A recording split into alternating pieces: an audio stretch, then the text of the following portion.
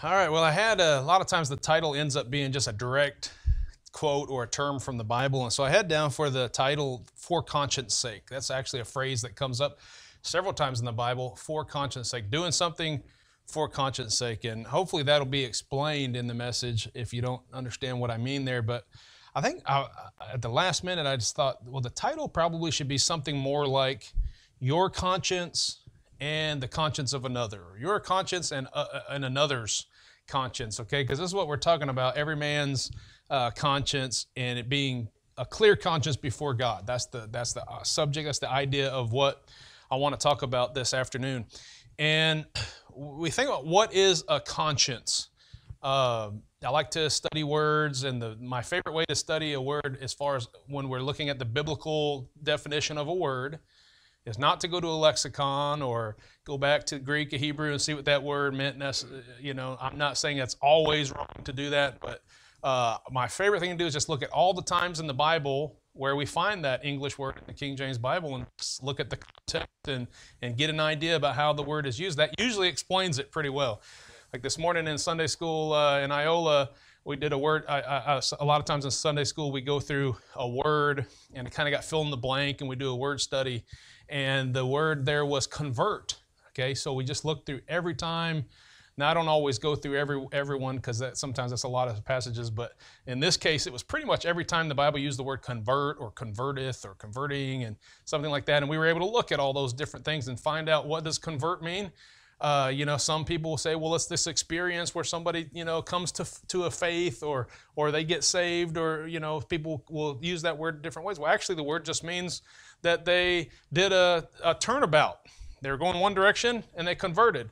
Very similar to the word repent. In fact, in Acts it says repent and be and, and, and be converted. And if you think about what it's saying, it's just saying, hey, you were going one direction, now you're going the other direction. And you have to look at the context of the Bible to see, you know, in what in, in what way, what did they repent from, you know, or, or you know. Anyway, you guys uh, are on track with that. But the cool thing is just to be able to go through the Bible and look at that and say, the Bible pretty much defines itself. You know, you can you can figure out what the Bible is trying to say. But what another thing I do since we're dealing with English is I do like to go to the etymology of the word and see where did we get that, that original word. That usually helps you know the definition. And so conscience comes from two words, con and science. Con can mean lots of things. It doesn't mean like a con man. you know what I mean? Uh, con and science means simply together with knowledge. Together with knowledge. And if you look up, uh, you know, maybe some ideas about what that could mean as far as the definition, and the etymology of the word, you know, it's kind of like uh, having knowledge with somebody else, which seems kind of weird. What is con- you know what is your conscience? Because that's what we normally think about conscience is that small voice, that inner voice or whatever, right? Well, if you think about it, you're kind of you kind of have knowledge, you know, with yourself. you know, you have this understanding uh, uh, uh, of yourself. Have you ever uh, seen? In the, the cartoons, you know, or movies, they'll have like this little small man sitting on your shoulder and maybe it's sometimes it's like an angel on one side and a devil on the other side, which is kind of silly, but and these things are whispering in his ear. And one's telling, you know, do that, and the other one's saying, oh, you know, you shouldn't do that. And a lot of times people say, well, that's your conscience, you know, or uh, uh, alter ego is is in in the the theory, you know, psychological theory or whatever. A lot of times people talk about that small voice, you know, the inner voice, uh, somebody uh, on your shoulder talking to you uh, the alter ego or super ego. And uh, it, it, we, we hear these, this word used a lot in our society about that, about our conscience, you know. Let your conscience be your guide. You've heard that. Or uh, just follow your conscience. You know, that's not always great advice, you know, but sometimes that's the best that you have to go off of, whatever. So let me give you real quick, this is introduction, but I want to give you some thoughts from the Bible about this, con- this idea of conscience, and then we'll get to the, the message. Okay, so Romans 9 to start with, Romans chapter 9. I'm just give you a few thoughts as you study this word and concept in the Bible. Here are some things that we learn. Number one, our conscience is not the Holy Spirit. Okay, some people say, "Oh yeah, you know that small voice you've got inside you? That's the Holy Spirit. You better obey that." Well, not necessarily. you know, that small voice could be doing, telling you to do something that is not right at all. And you say, well, my heart just tells me to do that. That inner voice, that, that con- my conscience says I should do this. You know, well, that might not be good enough. And you can't always blame that on the Holy Spirit, okay? However, the Holy Spirit can speak to your conscience and remind you, for instance, the you know, well, the Bible says I shouldn't do this. And the Holy Spirit speak to your conscience. Your conscience, that that that small voice inside, if you want to call it that, tells you, hey, you shouldn't be doing that. And it, and it kind of uh, speaks to you. But it's not the Holy Spirit. So Romans chapter 9, verse 1 says, I say the truth in Christ, I lie not my conscience also bearing me witness in the Holy Ghost. Okay? So it's like the Holy Ghost is speaking to my conscience, and my conscience is telling me what's right or what's wrong. That's the way that it works. Look at John chapter 8. The second thing, uh, by way of introduction, our conscience causes us to be uh, convicted. You say, I have a conviction. I'm convicted about a certain thing in my life or uh, that I shouldn't be doing something, and there's this, this conviction, some people would say that that is your, your conscience. No, but the conscience can cause you to be convicted. All right? John 8, 9. And they which heard it, being convicted by their own conscience, went out one by one, beginning at the eldest, even unto the last, and Jesus was left alone, and the woman standing in the midst. Background here was that the woman was supposedly caught in the act of adultery. They brought him before Jesus, and Jesus said, Hey, uh, let he who is guilty, I mean, he who is uh, without sin cast the first stone. And so it says that they were convicted, right? So what does that mean? Did they have a, just a spiritual, you know, revelation and became believers from that day and never sinned again after that? No. There's no reason to believe that, okay? But what it means is their conscience said to them, Hey, what we're doing is wrong. And they dropped their stones and they walked off. So he said, uh, what, was the, what was the word again? Uh, verse 9, let me see. It says, They were convicted by their own conscience. Okay, so that's not necessarily even the Holy Spirit, but the idea is that there was something inside them that said, That's not right, and they were convicted. And the point that I just want to make there is that people can have a conviction or realize that something's wrong and not even be saved. They, they might not even be Christians. Uh, a Muslim could have a conviction about something and think what they're doing is right based on their conviction, you know, of what their inner person, their conscience is telling them uh, to do. Turn to Acts chapter 23. So, as a Christian, the next point I want to make, and this is just looking at this word throughout the Bible, as a Christian, having a good conscience before God, or sometimes it's said having a clear conscience, means that there's no conviction inside you that tells you that what you're doing is going against God on a particular matter. Now, that certainly doesn't mean that you're, when you say, I have a clear conscience, that you're without sin. We all know that we have sin. Uh, First John says, if we, you know, say we have no sin, we're liars.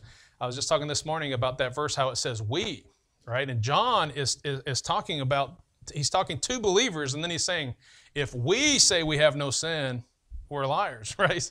He's saying we all have sin. We all sin regularly. Now it's not good. We shouldn't sin, uh, but we all we all sin. So having a clear conscience doesn't mean you think that you're without sin. It just means if I'm getting ready to do a particular thing, and I'm like I want to do what's right before God, and uh, so you search yourself, you search the scripture, you think about it, and then you say, you know what? My conscience is clear. I'm, i have a clear conscience before God. I can do this thing and I don't feel like I'm going against Him. This is what we're talking about. So, Acts chapter 23, verse 1. And Paul, earnestly beholding the council, said, Men and brother, I have lived in all good conscience before God until this day. He doesn't mean that he's without sin. In fact, he thinks of himself as the chiefest of sinners, and he thinks back to some bad things that he did in his life, but he's saying, you know, in the steps that I'm taking, I'm living in a clear conscience before God. I'm trying to do what's right. Look at uh, chapter 24, verse 16, page over. Chapter 24, verse 16. And herein do I exercise myself. He's saying, this is what I this is what I give myself to in discipline. This is what I'm exercising myself to to always to have always conscience void of offense toward God and toward men. He's saying, I don't want there to be anything in me that says, you know you shouldn't have done that. You know, you sin before God. You know you shouldn't have done that. You sin to that uh, with that person. You sinned against that person. I, he said, my mission, the goal, what I want to do is live my life having a clear conscience before God and a clear conscience before man, without, uh, without, what was the word that I used? What passage was it? Let me see here. 24, 16. Uh, I want to make sure I get it right because I always misquote it. Uh, it says, conscience void of offense toward God and toward men. All right, last of all, uh, for introduction, here's something I want you to consider. Knowledge plays a big part in the development of our conscience. Knowledge plays a big part. So here's what I mean by that. If a person is never taught that something is wrong, they, their conscience doesn't isn't necessarily going to convict them. I remember talking to a guy uh, that I worked with years ago uh, about the subject of pornography. Certain people in our church had fallen, and and then we talked about how you know we're men and we fight certain desires and everything. And and I was talking about my past, and and the subject of pornography came up, and the guy said, "I don't have a problem with it." And I was like, "Well, man, you're a better man than most because some have real problem." He's like, "No." I don't have a problem with it. Like, I don't think anything's wrong with it, which I don't believe. I think that he actually does. He was just trying to pretend like he didn't. But the fact is, if somebody was taught that it was right their whole life, nothing wrong with it, nobody was ever t- told them that it was wrong, it was sin against their own body, sin against God, sin against their future spouse, or something like that, of course their conscience isn't going to be convicting them like somebody who was taught from day one hey, that's wrong, don't do that. You know, quit looking at that. Hey, I mean, our kids, uh, most Christian kids are the same way. You're watching something on TV, right? And you're like, "Oh, guys, turn your head," or you know, a billboard when you're driving by. You know, this is this is just how you do.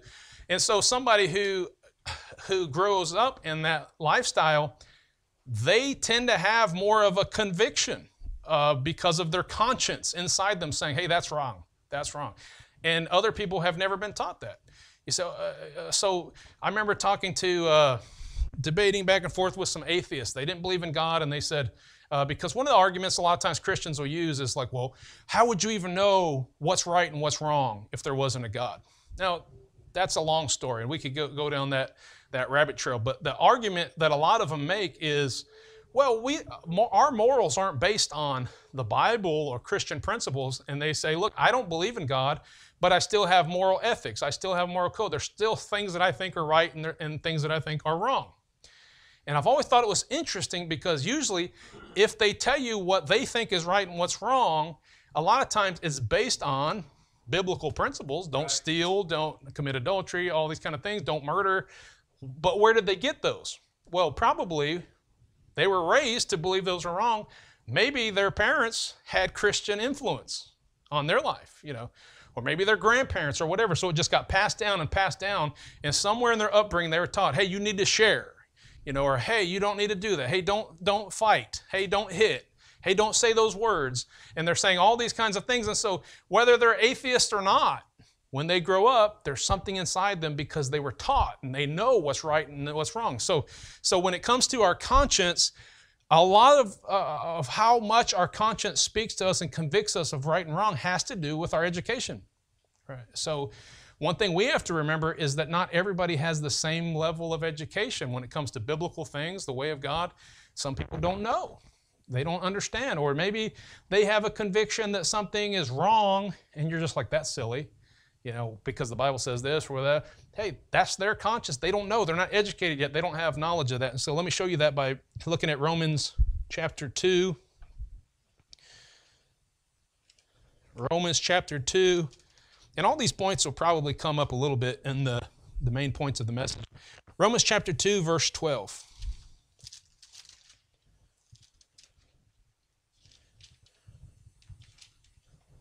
For as many as have sinned without law shall also perish without law, and as many as have sinned in the law shall be judged by the law. For not the hearers of the law are just before God, but the doers of the law shall be justified. For when the Gentiles, which have not the law, do by nature the things contained in the law, these having no law are a law unto themselves, which show the work of the law written in their hearts, their conscience also bearing witness, in their thoughts, the meanwhile accusing or else excusing one another. Okay, so you say, well, the, in that day, you know, the Gentiles didn't know much about the uh, the laws that the Jewish families had been raised on, and it's like, well, how do they know what's right and what's wrong? Well, some things were written in their heart. You know, some things they just knew that they weren't supposed to do this or whatever. But in the context, he's talking about, hey, we have the law, and so we've been living by the law and being judged according to the law.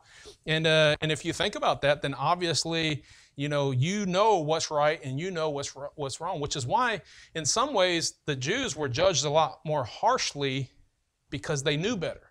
They had the Old Testament scriptures. They had they should have had knowledge about Christ coming and all. Whereas it seems like God was super merciful to some of the Gentiles that didn't know these things you know? And this is why yeah if to whom much is given much shall be required. If you grew up in a christian home you grew up with bible teaching and all these principles there's going to be a little bit more required of you because you should have something inside you saying i know better. I know that that's wrong. And uh, and i know what's right and what's wrong. Okay? So the idea of follow your conscience or let your conscience be your guide is pretty dangerous you know because we don't know that our conscience is even always right. But what we want to find out are what are some steps that we can take towards making a decision with a clear conscience. I know that I have a clear conscience before God whenever I do this. And uh, here are some different steps about that. Okay, number one, as I kind of already pointed out, we need to uh, we need to have knowledge on the situation. We need to gain knowledge about a matter. So go back to 1 Corinthians 8.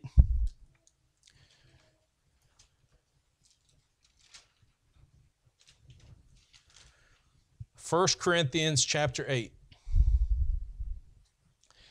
He says, Now as touching things offered unto idols, because apparently the church of Corinth had had either written a letter or somebody had had went and talked to Paul and said, Yeah, the church of Corinth, they have these questions. And one of the questions that came up is, hey, should we eat, you know, meat that's been sacrificed to idols? Is there anything wrong with that or whatever? And, and however they asked the question, I don't know, but his response was the following. Okay, he says, Now as touching things offered unto idols, we know that we all have knowledge. Knowledge puffeth up, but charity edifieth. And I'll, uh, I'll explain that a little bit more here in a minute. Look at verse 4. As concerning, therefore, the eating of those things which are offered in sacrifice unto idols, we know, see that word? Know, it's, it's knowledge. We have knowledge, we have understanding that an idol is nothing in this world, and that there is none other God but one. For though there be, uh, be that are called gods, whether in heaven or in earth, as there be gods many and lords many, but to us there is but one God, the Father, of whom are all things, and we in him, and, uh, and one Lord Jesus Christ, by whom are all things, and, uh, and we by him. Okay? So here's what he's saying that we uh, have knowledge about these sacrifices that are offered unto idols. We're like, you know what? There aren't any other gods. It's not like there was some kind of mystic blessing or curse upon this idol. You know, we used to live in uh, Japan when I was growing up, and uh, if I had to do it again, I, you know, I wouldn't want any kind of an idol in my house. Okay, but we had a, a, happy God. Some people call it Buddha, but really it was just a happy God, bald man, fat belly, uh, sitting there, and uh, probably like this. I can't remember. And, you know, there were some like superstitious, like if you rub the head, it's going to bring you good luck or all these kinds of things. The Japanese have all kinds of weird superstitions. On New Year, on, on their New Year's, they would put like these, these beans in the, throughout the house and they would, you know, ask the spirits to bless the house or whatever. And we, we got saved, we all got saved in Japan, uh, mil, uh, ministry to the military on base there. And we went to this church, we got saved. And so later on, we kind of laughed at some of those practices as we saw them doing that. And we knew in our head, even though we had that little happy God there, which again, I wouldn't, I wouldn't do that, but that's another story. but in our head, we're just like, that's not a God. It doesn't do anything. Now, if something happened in the house, uh, you know, uh, early on, before we were Christians, let's say something would fall off the table that the happy God was on. We might say, like, oh, what is, is that a coincidence? Or was that God, you know, like upset or something like that? You know, and, and people that are unsaved sometimes will think some weird things like that. Okay. But once you're saved and you understand, hey, there's only one God, Amen. then all of a sudden you're just like, that doesn't really mean anything. Now, there's still it's, it's, God still doesn't want you to make graven images and, and put them where you're going to bow down to them or pray to them or anything like that. Uh, that's a subject for another day. But, uh, but the idea is we understand as Christians, and that's silly. That's nothing. That doesn't mean anything to me. It's not going to hurt that, uh, to have that in my house. Uh, uh, if somebody said, hey, we prayed, uh, to Buddha. I don't even think they pray to Buddha, but anyway, we we you know whatever. Uh, and, and, so here, have this gift. It's been blessed by. We know in our head it's not been anything. If somebody gets out a voodoo doll, you, are you? Everybody know what a voodoo doll is? Uh, and they, they put a pin in it or something like that, and it's supposed to be attached to a person. So if they put a pin in it, then you can feel that in your shoulder or wherever, wherever or wherever they pray. Obviously, I'm not worried about that. I don't believe in that. Uh, I remember I worked with this guy from Kenya. Uh, I don't remember what tribe he was from. I think Maasai tribe or something like that. And he had come to the United States for a long time. And he had super long fingernails. And I said, Man, why do you have such long fingernails? And he's like, Oh, I hate cutting my fingernails. He said, Because somebody can get your fingernail clippings if you clip them, and they can put a curse on you. And, uh, and, and you know, so he lives his life with all these superstitious beliefs. And as a Christian, you're just like, That's silly. No, no, no, it's true. You're almost like, well, here, take one of my fingernails and try it. it's not going to work, right? But to them, it, it, it is. And so knowledge is super important. And if you want to know what makes God happy and have a clean, clear conscience before God, we have to gain uh, knowledge. Not everybody has that knowledge, though. Look at verse 7. Howbeit, there is not in every man that knowledge. For some, with conscience of the idol, unto this hour eat it as a thing offered unto an idol, and their conscience being weak is defiled. So now let's say you got a young believer, just new convert, you know, to Christ, and uh, still trying to understand some things. You know, you've talked to new believers; they still don't. Twice yesterday, when we went out soul winning, we met people who seemed to have a salvation testimony, but there were some things they didn't understand. Maybe eternal security, uh, they didn't completely understand that. Like I, you know, you can kind of hear sometimes they're like, well, I don't think so because it's, you know, it's just the gift of God and it's not by works. But, but you can tell by different preaching and confusing, you know, that they, they just don't totally get it. So you can see somebody who's lived in a, a world of uh, idolatry and people worshiping these other gods. And maybe they turned their heart to God and said, I received Jesus Christ. You know, we don't know because we don't live in that culture, but probably there was still some attachments to, you know, having something that was blessed by uh, God or they prayed over this or, or they sacrificed it to a God. And so they feel like if I'm eating this, right, I'm actually eating this unto that idol. And Paul's saying, we know better uh, we, we understand that I don't care what they did, they prayed over that, they blessed that, you know. Uh, I don't know. I, I heard somewhere that uh, I can't remember if it was Muslims or Jews or what, but there was some some organization that made uh, they sold food, I think it was, and they prayed over it or something before they sold it. I can't remember the whole story, but you know, somebody might say, "Look, I'm never ordering something from them because they, you know, prayed to Muhammad or to Allah or whatever, and and, uh, and, you know, there's a lot of different weird stuff out there. But we're like, you know what? I don't really care. None of that means anything. So we have that knowledge, but not everybody has that knowledge. Is is, is the point here? Look at uh, Acts chapter three. Even uh, the apostle Paul we're going to see here in a second, even the Apostle Paul did some things before he got saved that he thought was right, but he was ignorant about it. Acts chapter 3, verse 14. Uh, oops, I'm in the wrong place. Acts 3, verse 14. Uh, okay, and here he's talking to the Jews here, and he's preaching to them. He says, But ye denied the Holy One and the just, and desired a murderer to be granted to you. Remember, they said, Give us Barabbas. And they wanted Jesus to be crucified, and they wanted a murderer to be set free. And they said, uh, He said, uh, and killed the Prince of Life, whom God hath raised from the dead, whereof we are witnesses. And his name, through faith in his name, hath made this man strong, whom ye see and know. Uh, yea, the faith which is uh, which is by him hath given him this perfect soundness in the presence of you all. And now, brethren, I wot that through ignorance ye did it. as did also your rulers. So he's saying, even those people that put Jesus on the cross, some of those, they were just doing that in ignorance. You know, this is why Jesus said, Father, forgive them, for they know not what they do. Okay, now look at Acts uh, chapter, no, no, First Timothy. Go to First Timothy. And this is the verse I was talking, to, talking about uh, regarding the Apostle Paul. 1 Timothy chapter 1, verse 12. And I thank Christ Jesus our Lord, who hath enabled me, for that he counted me faithful, putting me into the ministry, who was before a blasphemer and a persecutor and injurious. But I obtained mercy because I did it ignorantly in unbelief. Even the Apostle Paul, when he was crucifying, I mean, he was persecuting Christians and he was going after them and he was doing all this, he's like, you know what? I did it ignorantly.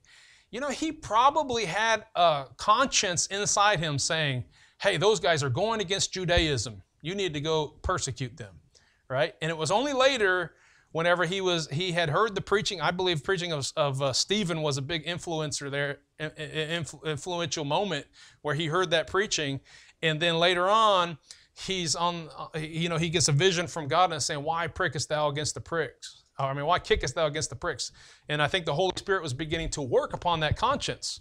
And he learned something now that he didn't know before. And he's like, whoa, this Jesus Christ is true. And, and so he couldn't resist that anymore. Does that make sense? But before, he still had a conscience, but his conscience was telling him to do wrong. And he thought that it was, was the right thing to do. Okay, so some people don't have the knowledge, and so therefore their conscience can be wrong. It can tell them to do the wrong things. now, a weakened conscience is different than what we would call a uh, seared conscience, okay? Now, if you don't understand something, your conscience might be weak. But if your conscience is seared, uh, that's a different story. Look at 1 Timothy, you're already there, you're already there. Look at chapter 4. Let me see, should I start? Let's start with the first verse. Chapter 4, verse 1. Now the Spirit speaketh expressly that in the latter times some shall depart from the faith, giving heed to seducing spirits and doctrines of devils, speaking lies in hypocrisy, having their conscience seared with a hot iron. And what that, I believe, means is that conscience inside them is telling them what's right, and they're resisting it and resisting it and resisting it until their heart is hardened and it's like being seared with a hot iron. It's become calloused and it's become, uh, only thing I can think of in my head on seared is like if you take a piece of meat that's raw and you sear it. I don't even know if that's the right definition, but you know how it has that like hardened part now and, uh, or you cauterize uh, you know, somebody's blood vessel is, is, is uh, uh, or their veins are bleeding, or whatever, the doctor will cauterize it. I think that's kind of the same idea. So here's you got this heart of flesh, and now it's seared as with a hot iron, and, uh, and, and they have actually resisted the Holy Spirit, and their conscience has been seared, okay? That's a different story. But someone who just doesn't have the knowledge yet, hey, they need to hear the, they need to hear, let's say it's the gospel, right? They don't have a knowledge of the gospel, so they don't understand. Their conscience is telling something else. We have to be patient with them and make sure that they get the gospel so that they can know the truth and so then their conscience can be awakened in that way. Uh, but or it's somebody who is a new believer, but they've heard so much false teaching their whole life.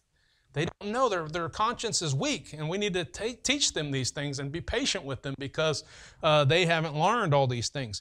And not having that knowledge causes a weakened uh, conscience. Okay, number two.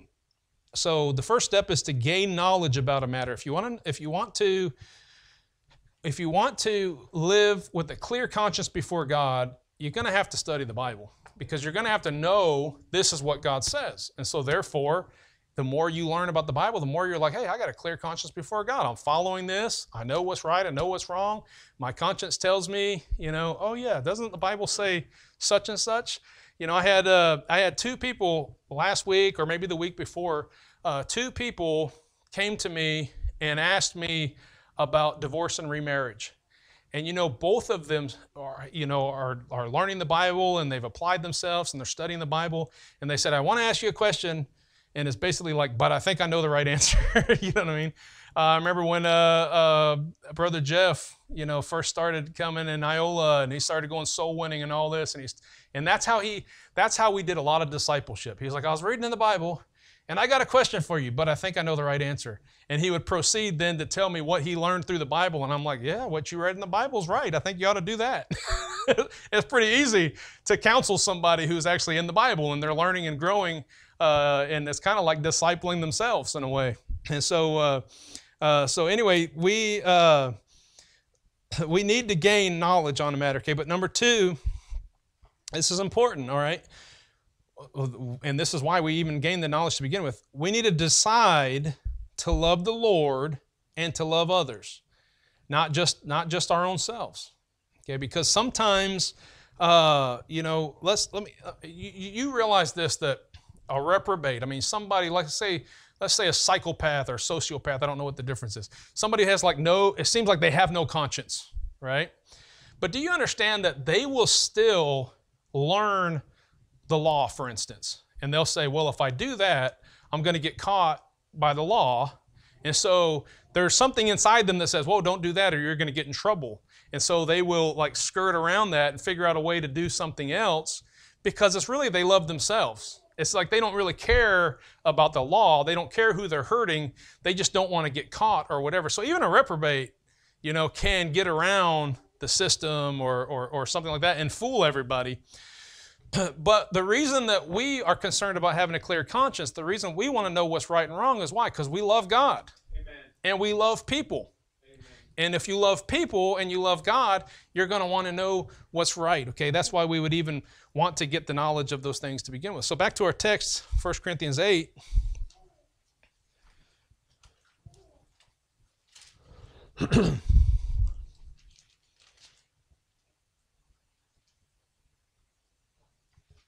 Look at uh, verse 1 through 3. Now, as touching things offered unto idols, we know that we all have knowledge. Knowledge puffeth up, but charity edifieth. And if any man think that he knoweth anything, he knoweth nothing yet as he ought to know. But if any man love God, the same is known of him. You see, right there, he's saying that when we have knowledge, for instance, not, um, uh, okay, he's saying when you have knowledge, knowledge puffeth up, right? Knowledge can make you pride, pride, prideful or proud. knowledge can make you proud. And you're just so glad that you have this knowledge and you're so much better than everybody else and, and, and all this kind of stuff. So we have to be really careful about that. But we need to realize that we don't know everything perfectly. So everything that we want to learn or we're trying to grow or, or we need to know, uh, you know, what's right, what's wrong is all based on the fact that we love the Lord and we love people, which means it's, that's going to be the opposite of pride, of pride and we're going to humble ourselves and we're going to want to learn. What does God want? What do we need to do to be right with people and to be pleasing to God? So we need to decide to love the Lord and to love others. Pride will just cause us to make decisions contrary to our conscience and, uh, and, and to just do our own thing. Look at Romans chapter 13. Romans 13. We want to obey not only so we don't get caught and don't get in trouble, like I was talking about the reprobate, uh, we want to obey so our conscience is clear before God. Okay, so Romans chapter 13, verse 1 talks about this. Let every soul be subject unto the higher powers, for there is no power but of God. The powers that be are ordained of God. Whosoever therefore resisteth the power resisteth the ordinance of God, and they that resist shall receive to themselves damnation. For rulers are not a terror to good works, but to the evil. Wilt thou then not be afraid of the power? Uh, Do that which is good, and thou shalt have praise of the same. For he is a minister of God to thee for good. But if thou do that which is evil, be afraid, for he beareth not the sword in vain, for he is a minister of God, a revenger to execute wrath upon him that doeth evil. Now, I'm not going to preach on this chapter. There's a whole lot I could say about that, but look at verse 5. This is where I'm headed. Wherefore, ye must needs be subject, not only for wrath, but also for conscience sake. All right? So it's not only are we worried about the wrath, you know, not only because uh, let's be honest, I don't see anything wrong with me not wearing a seatbelt. But if I get pulled over, it's like I gotta. I don't want to get. I don't want to have to pay a ticket, so I'm putting my seatbelt on because it's the wrath. Okay. But when we obey the laws of God, right? And yes, there are some little tied into obeying the laws of man, but let's forget that for a second, okay? When we obey the laws of God, it's not just because of wrath, we don't want to get in trouble, but it's because our conscience, we want to have a clear conscience. Why? Because we love God. And so we want to do what's right. And so, uh, uh, so decide to love the Lord and others. Gain knowledge about the matter. These are, these are steps to live with a pure conscience before God. Number three, in love, if you do love, if you do love the Lord, if you do love other people, in love, our clear conscience will be concerned about the conscience of others. Okay, now these, that might sound like uh, a strange thing to say, but go back to our text. So, because I love God and I love others, I recognize that my conscience is my conscience. Somebody else's conscience is their conscience, all right? I can't expect them to feel uh, the same way about everything as I do, right? In, uh, in Christian circles and uh, independent fundamental Baptist churches, no doubt, is no exception.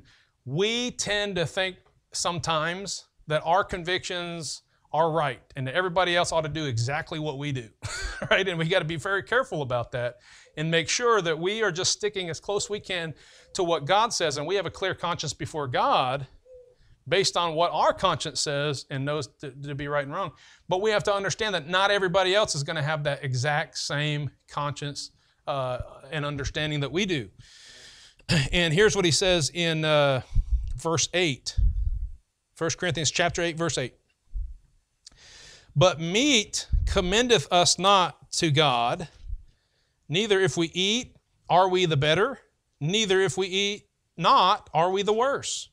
He says it's just meat. Who cares, right? It's just food. You want to eat, eat. If it's been sacrificed, uh, you know, it doesn't change anything about the nutritional value of the food. Okay, verse 9. But take heed lest by any means this liberty of yours become a stumbling block to them that are weak. For if any man see thee, which hath knowledge, sit at meat in the idol's temple, shall not the conscience of him which is weak be emboldened to eat those things which are offered to idols? So now you've caused this person who thinks, man, I should stay away from that. That's been sacrificed unto idols, right? I, you know, that's that's wicked. And then he sees you who's like, I don't, that's stu- stupid. It's not right or wrong. It's just meat. And he sees you eat that. But remember, he still has his conscience. He still has his conviction. And so he sees you. And it could be that he says, huh, he's doing it. And he kind of goes against his conscience and kind of does that. And now he has actually done wrong by his own conscience. You know what I'm saying? He feels like he just sinned against God, which is going to probably embolden him to do more things contrary to God and to get that kind of conscience seared, right? Because he's no longer, you know, who cares? You just do whatever you want to do at that point. All right, so we have to be careful not to be a stumbling block. We need to consider the conscience of others not only if they are Christians. Obviously, we don't want, we got to be careful with, with new believers and the different ideas and understandings they have and, and be patient with them and teach them the Bible and teach them what we know. And, but also with the world and people who aren't saved, uh, we've got to be super careful because remember, they have a conscience too. They have an understanding, they have some different convictions as well. And our goal is to reach them. Okay, so look at 1 Corinthians 10. This is, remember, just a couple chapters later from where our text is. 1 Corinthians 10, verse 23. Remember what he said don't use your liberty, right, to be a stumbling block to others. And here's what he says in 1 Corinthians chapter 10 verse 23. All things are lawful for me. You know, let me just sorry, if if, it, if that doesn't mean anything else, here's what we know. As a Christian born again, you know you have salvation, you know you're sealed by the Holy Spirit until the day of redemption you know you can do anything and you're not going to lose your salvation, right? This is what messes with some people. What? Are you just trying to say we should just continue in sin? Well, no, the Bible actually specifically says that you're not supposed to continue in sin. But we understand in our in our heart I'm saved. I'm a child of God. If I go out and commit some kind of sin, I'm still going to heaven. That's pretty liberating if you think about it, right? That's pretty that's that's a lot of liberty because theoretically I can go out and kill somebody and doesn't mean anything to my to my salvation. We've said that at doors before and people are like shocked to hear that. What was it, Brother Austin? And the lady said, This guy just said you can kill somebody and still go to heaven. And they sat down and listened to him. We'll hear you more on this matter. but here's what he says All things are lawful for me, but all things are not expedient. All things are lawful for me, but all things edify not. Let no man seek his own. Here's the key. But every man another's wealth. Whatsoever is sold in the shambles, had to look this up to make sure I was right, but shamble is just an old word for basically the slaughterhouse where they make the meat. Okay, uh, uh, whatever sold in shambles, that eat, asking no question for conscience sake. For the earth is the Lord's and the fullness thereof. If any of them that believe not bid you to a feast, and ye be disposed to go, whatsoever set before you eat, asking no questions for conscience sake. But if any man say unto you, This is offered in sacrifice unto idols, Eat not for his sake that showed it, and for conscience sake, for the earth is the Lord's and the fullness thereof. Conscience, I say, not thine own, but of the other. For why is my liberty judged of another man's conscience? For if I by grace be a partaker, why am I evil spoken of uh, for that which uh, that for which I give thanks? Whether therefore ye eat or drink or whatsoever ye do, do all to the glory of God. Give none offense neither to the Jews, nor to the Gentiles, nor to the church of God.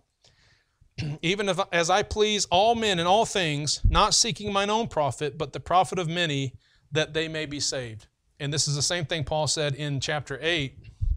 He's saying that his desire is to make sure that other people are reached for the Lord that sinners are converted from the error of their ways, that lost people are converted to salvation through Jesus Christ. And he said, I want my life, even though I have all this liberty, you know, I want my life to have a clear conscience before God and a clear conscience before man. And, uh, and I want to make sure that I'm doing right. Titus uh, 1.15 says, Unto the pure, all things are pure. But unto them that are defiled and unbelieving is nothing pure, but even their mind and conscience is defiled. And we want to make sure that we are doing right for our own conscience before God and that we're concerned about the conscience of others as well and uh, bringing them to, uh, to the Lord. So, recap real fast. So, we need to live with a clear conscience before God. That should be our goal. We need to, uh, in order to do that, we need to grow in knowledge of His Word, grow in love for Him, grow in love for others, I mean, these all go hand in hand. Loving the Lord, you know, the second is likened to to that. Love thy neighbor as thyself. And uh, and so, the, in order to have a clear conscience before God, we need to grow in knowledge and in love for others. And as we grow in faith and in knowledge of God's word, we begin truly wanting to please God and to serve others, and our conscience becomes more concerned about the conscience of others certainly don't want to be a stumbling block to those with a weak conscience, and we certainly don't want to cause non believers to remain unsaved. And so, this is the point of a Christian dealing with their conscience and conviction and how to do this. At some point, as you grow and mature, you realize there's a lot of things out there that aren't really that big of deals. okay, so then it becomes being the mature person and saying, well, how do I use my liberty to be a blessing to others and to serve God in a greater way. Let's pray. Lord, we thank you for your word. Uh, thank you, Lord, that you do provide us with, a con- uh, with convictions. More importantly, that you provide the Holy Spirit and your word uh, to help us to know how to have a clear conscience before you. And, uh, and I pray that you'll help us not to use our liberality to be a stumbling block to somebody else, uh, but that we would be concerned most with pleasing you and then also with serving others. And I pray that you help us to do that, that we might bear much fruit for your honor uh, and glory, and that uh, we would see souls saved and lives changed as they begin to understand your word and walk in it. Lord, we love you and uh, give you thanks for this day and for all that you've given us. Pray you, uh, you help us as we go our separate ways and safety and travel and all that. And then those soul winning to this afternoon, Lord, I pray you bless that. Give them boldness to preach your word and open hearts and minds uh, to receive your word. In Jesus' name I pray. Amen.